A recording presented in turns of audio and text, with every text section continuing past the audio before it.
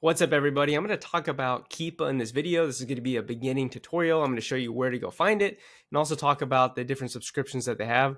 Now, it is a free tool to use and there are definitely some useful things for free, but you will want to pay for the subscription if you are a serious bookseller because even though it's about $40 a month, it's going to save you hundreds of dollars a month if you actually know how to use it correctly. So, First place to go find it is you just go over to the Chrome Web Store, or you can find the link in my description. You find or type in Keepa, and you can just add it to Chrome.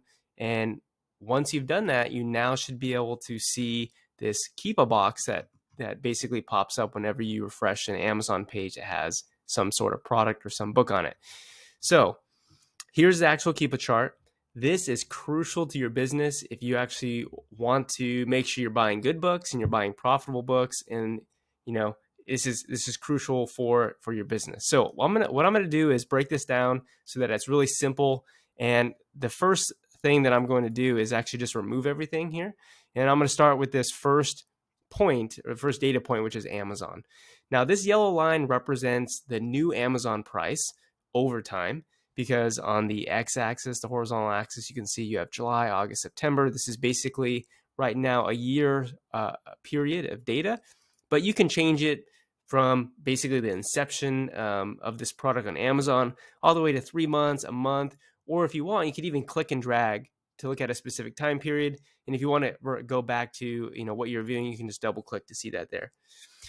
Okay, couple things to note about the Amazon price is that Amazon price changes throughout the year, probably due to a number of factors. It's and the reason why that's important is because you should realize that Amazon's price isn't always you know constant. It doesn't it doesn't always stay the same. It could, but it doesn't always.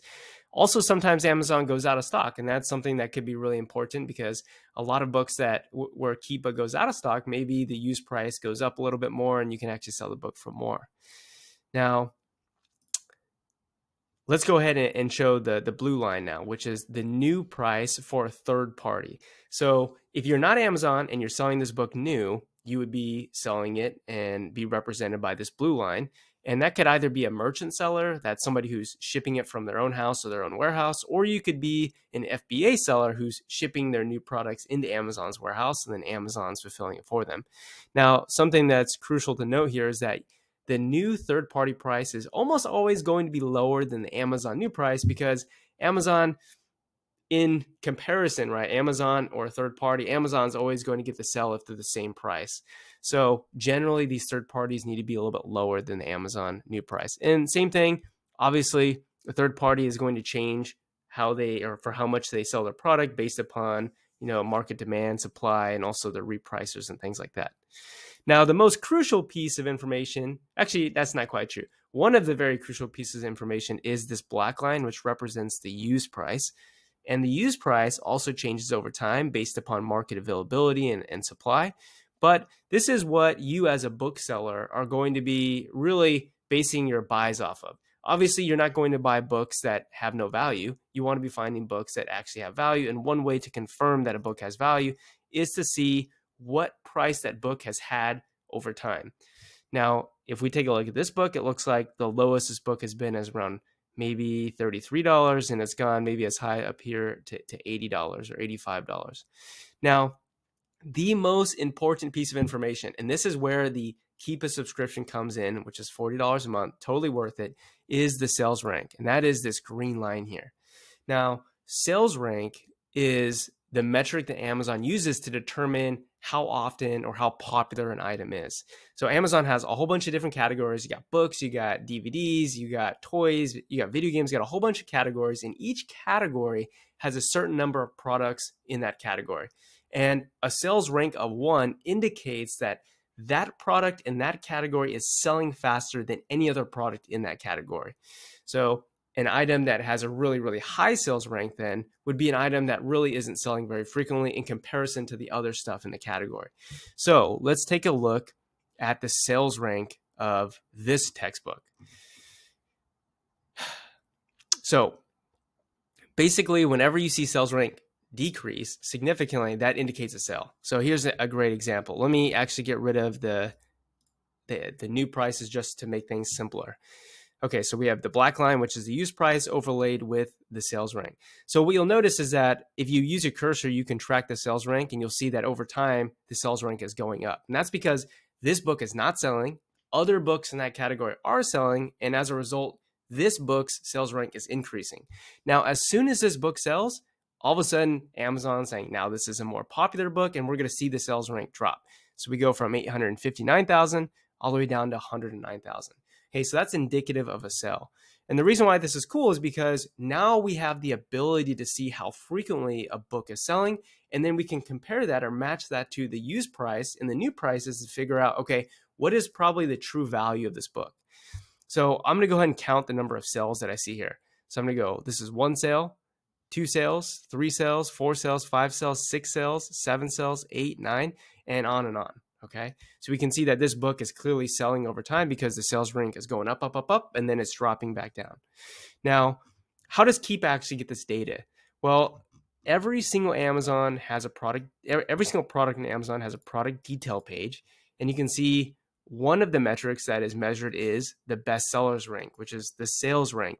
And what Keepa does is keep track of all of this information on these pages and basically refreshes, I don't know, every 10 minutes, every 15 minutes. I have no idea. Their API refreshes, you know, constantly throughout the day. And therefore, because they are mapping or collecting those data points of the sales rank over time, they can just put onto a graph and this is what it looks like. And so we see that when the book doesn't sell, the sales rank goes up. And then when it does sell, the sales rank goes down. And that's what Keepa basically captures. Something you'll notice that's interesting about sales rank is that you'll notice books don't tend to always sell consistently throughout the entire year, especially textbooks. Here's a great example. You'll see uh, this U shape in January and February and August and September. And the reason why the sales rank is in that U shape or very, very low is because this is when there's a high demand for that book. Because if you would look, these are the semesters when kids or, or students are going back to school. And that means there's more demand for the book, there's more people buying the book. Therefore, the sales rank is going to decrease because there's more sales. And usually what you'll see as a result of that is that the price goes up because remember this is basically economics 101 supply and demand as supply goes as as demand goes up supply goes down and vice versa. So we see that demand is increasing, right? As in, in, in uh, indicated by the sales rate dropping here and as a result, we see that the used price of a book goes up.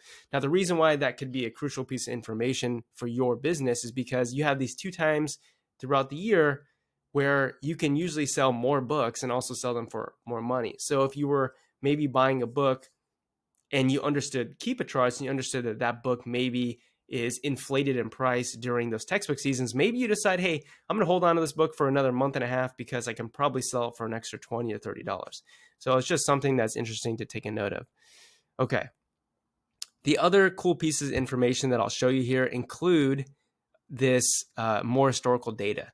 So I've already clicked it uh, to show this more historical data here. And if you don't see it, you'll see this less historical data. Or if you don't see this this box here, you can just click the more historical data and you'll see this. The reason why this is important is not really for the review count or the collectible offer count. Um, it's useful for the new and the used offer count. Okay, and the reason why that's useful is because, again, you'll see similarities and you'll see relationships between the price of the books and also how frequently the sales rank is dropping with the number of used offers. And so what you can see here is like during this textbook season, the number of used offers goes down because more people are buying the book and the sales rank is going down. By used offer count, we just simply mean how many how many Amazon sellers are there? How many people are selling this book, whether that be merchant fulfilled, whether that be Amazon FBA fulfilled? Okay. Now, what else can I show you? I also forgot to show you this collectible, this uh, gray line. There are some books, usually not textbooks, that might be more rare, that might be more collectible. And there's also a line that can show you, okay, here's what the collectible prices were over time. Now, this book doesn't have it, but many, many books do have it.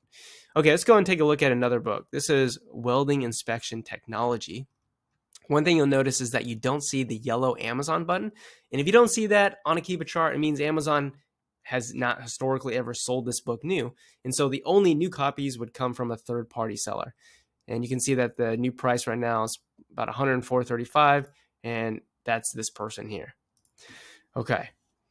Now, let's go ahead and take a look at um, the difference between what we just looked at in this graph versus this graph here. Now, the obvious thing to note is that this book here doesn't seem to have a normal textbook season sort of pattern. In that case, if you were to buy this book and you were thinking of selling it, you probably wouldn't be holding it for textbook season because you realize that its data has showed it's not really a textbook season book, so you can just sell it whenever you want throughout the year. Okay. Uh, let's go and take a look at another book. So this is a Learning American Sign Language book. If you ever find this book, then pick it up. All right, you'll see that this book sells year round very well, but it still does have that textbook U shape pattern. But basically, anytime throughout the year, this book is selling multiple times a day. And if I click on the day button, you can see the sales rank decrease there. That was a sale. So it's this book is selling probably every single day, maybe even a couple times a day. And when it comes to textbook season, probably five to 10 times a day at least. Okay, last thing I want to show you before I wrap this up is show you a book that actually has a sales rank that's really, really high and would be um, indicative of maybe some a book that you wouldn't want to buy or maybe that you should give more thought into. So I told you about sales rank. The lower the sales rank, the closer you get to one, the better.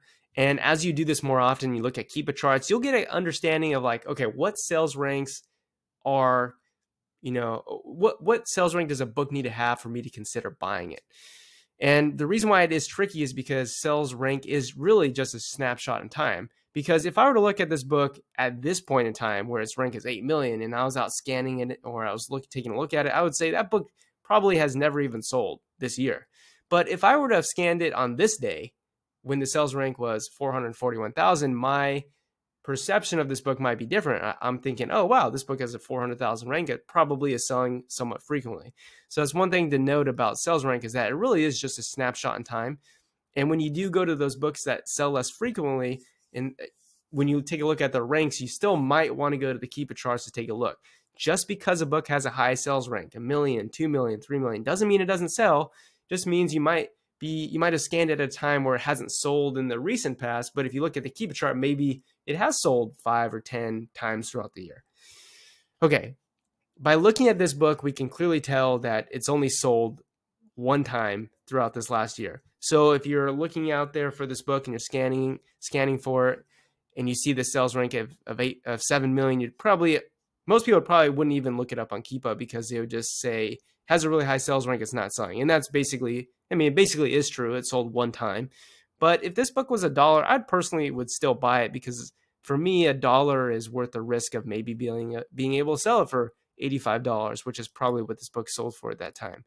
Now, a lot of people disagree with that, and that's completely fine. If we look at the history in the past, right, you can see that it sold a couple times in 2015, 2016, 2017, 2019, but in you know in the last couple years, it only sold one time. So for, for me, if this was a dollar, I'd probably take a chance on it. I might not send it in Amazon FBA though, because you know I wouldn't want to incur long-term storage fees, but I might take a risk on it. But I would say no way would I spend five dollars or ten dollars on this because it simply just really isn't selling much. All right, the last thing I want to tell you before we go is about that Keepa subscription. About it's about $40 a month. It's completely worth it because having the ability to look at the sales rank over time is going to help you determine whether or not you should buy the book or not. And if you're buying hundreds of books or thousands of books throughout the year, each individual decision could be the difference between buying a bad book or buying a good book. So, in my opinion, it is absolutely necessary. You cannot do this business without it. And just to show you what you would see if you have the free versions is you would see this. You would see, you know, the used price and the new prices and that is helpful information because you at least know what this book is listed for over time, but you have no idea if it's actually selling. You have no idea if the actual Keepa chart looks like this and it's only sold one time, or you have no idea if it looks like this and it sells all the time. So the point is this is a, a tool that's crucial for your success.